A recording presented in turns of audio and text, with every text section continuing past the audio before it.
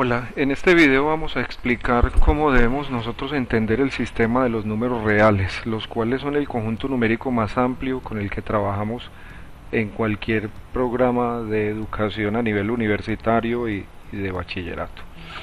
Entonces podemos entender el sistema de los números reales como dos conjuntos, básicamente los racionales y los irracionales.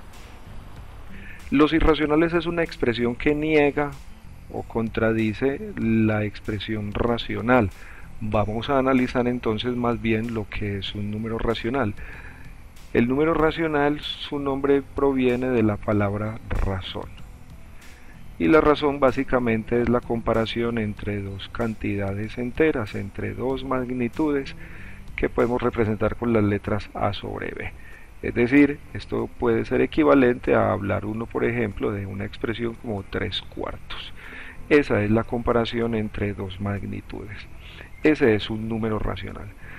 Entre los números racionales, pues, se encuentran tanto racionales positivos como racionales negativos. Nosotros podemos también hablar del número racional, podemos hablar del número racional menos 7 octavos. Ese también será un número racional.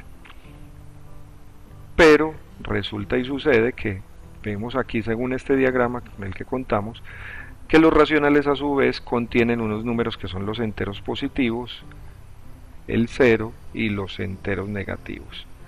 Significa esto que un número entero, como lo es por ejemplo el 3, es a la vez racional y esto sucede pues porque yo lo puedo entender como 3 sobre 1, es decir, cumple también con la definición de ser un número de la forma a sobre b.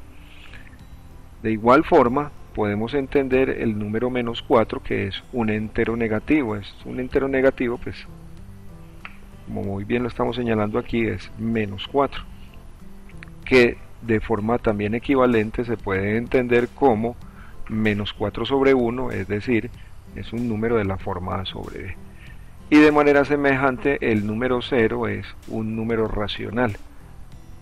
Entonces podemos entender que los enteros son números que también hacen parte de los racionales porque se pueden escribir con su forma algebraica, con su forma estructural en sí. Los números irracionales, en cambio, son números que no se pueden escribir de la forma A sobre B si hay un número que no se puede escribir de la forma A sobre B, a ese número es al que vamos a llamar irracional. Tenemos aquí una lista de números irracionales de uso frecuente o que se presentan pues con mucha frecuencia en, frecuencia en las distintas aplicaciones. Son cuatro números muy conocidos, bueno, hay tres en realidad, hay un cuarto que lo conocen muy bien eh, las personas que están relacionadas con el área de las artes. En primer lugar tenemos el número raíz de 2, luego el número de e, en honor se llama e al matemático Euler, luego está el número pi y luego está el número phi que se conoce como el número de oro. Lo que tenemos allí es una representación en forma decimal y notemos que todos ellos son números cuya representación decimal es infinita y no periódica, es decir, si nosotros intentamos encontrar una secuencia en esta lista de números, no lo vamos a lograr. Es imposible encontrar una secuencia en esta lista de números. ¿Qué puede ser una secuencia? Puede ser un número, por ejemplo, 3.33 y que esto continúe de forma indefinida. Entonces diremos que la secuencia, diremos que el periodo es el número 3 o pudiera ser 3.12, 12, 12 y que esto continúe de manera indefinida. A eso es a lo que llamaríamos una secuencia, lo cual no sucede en ninguna de las listas de estos números, es decir, esa lista de números de decimales es infinita y no hay una secuencia. Es así como es imposible decir que el número raíz de 2 yo pueda decir que es igual a un número entero A sobre un número entero B. Es decir, eso no se puede. Por lo tanto, estos números son racionales, estos números son irracionales, es decir, se contraponen a la teoría, a la conceptualización del número racional. Es por ese motivo que se llaman así ahora. Lo llamativo de la situación es que existe un concepto que es la recta real. La recta es una línea recta como las que entendemos en geometría. Una recta está formada por una infinidad de puntos. En esta recta tenemos resaltados estos cuatro puntos que corresponden a nuestros números irracionales de uso frecuente, pero además allí también hay una serie de números enteros, menos 1, 0, 1, 2, 3, 4, y también habría una gran cantidad de racionales, por ejemplo, como un medio que lo pudiéramos localizar allí.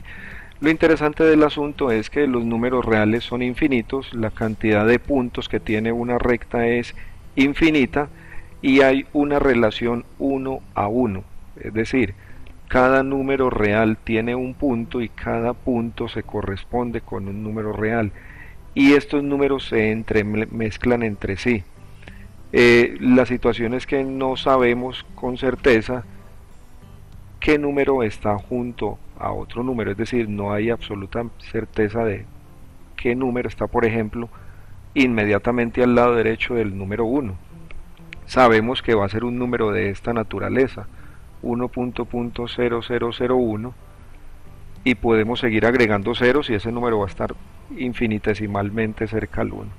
Entonces, eh, esto es lo que compone el sistema de los números reales que es, como les digo, un sistema que nosotros debemos entender y debemos entender básicamente es porque cuando nos aparezcan números irracionales y necesitemos hacer operaciones, dependiendo del contexto, dependiendo del ejercicio, nosotros debemos trabajar con este símbolo como tal, es decir, con el número irracional como tal, o lo podemos hacer con una pequeña aproximación de él siendo conscientes de que el resultado que obtengamos a partir de una aproximación de un número irracional va a ser un número aproximado a la respuesta exacta del problema. Y entonces, repito, habrá aplicaciones en las que podemos sacrificar la exactitud de las respuestas y habrá otras en las que no se puede negociar esa situación y hay que trabajar exactamente con el valor. Entonces, en general, en general hemos de entender que los números reales están compuestos por los números racionales y por los números irracionales.